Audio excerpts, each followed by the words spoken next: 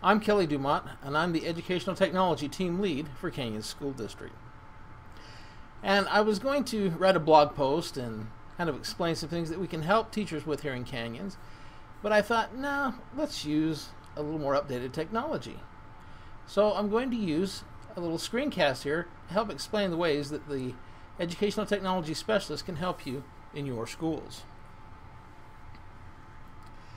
We can help provide a lot of services. We are here to help train you in the use of technology, to help you work with your students in using technology in the classroom.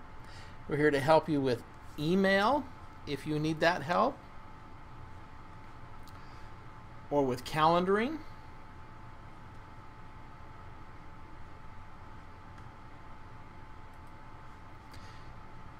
We can help you learn how to do fun and innovative uh, printed projects.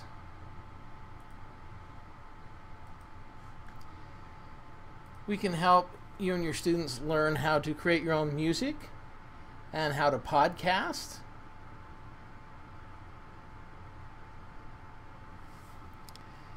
So maybe you could create a song like this one.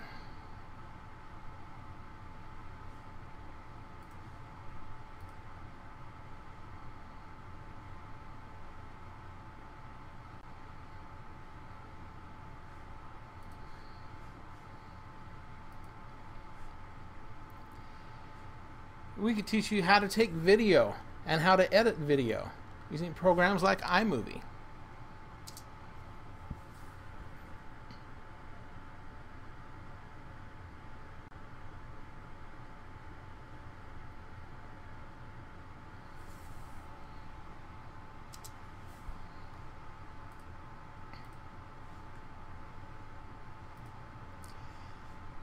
We can help you learn how to set up a blog for your classroom or other type of website. One resource that is becoming available today is our it.canyonsdistrict.org website. On this website, you will find links to things that the EdTech specialists are learning about. And so in a few minutes, this post will actually be what appears here. We've been working hard over the summer to develop uh, some professional development uh, uh, ideas and, and ways to deliver that for you. And so these are some, some classes or some strands we have developed for professional development, uh, including one using uh, Pearson SuccessNet or the Envision Math. So we can help you with that as well.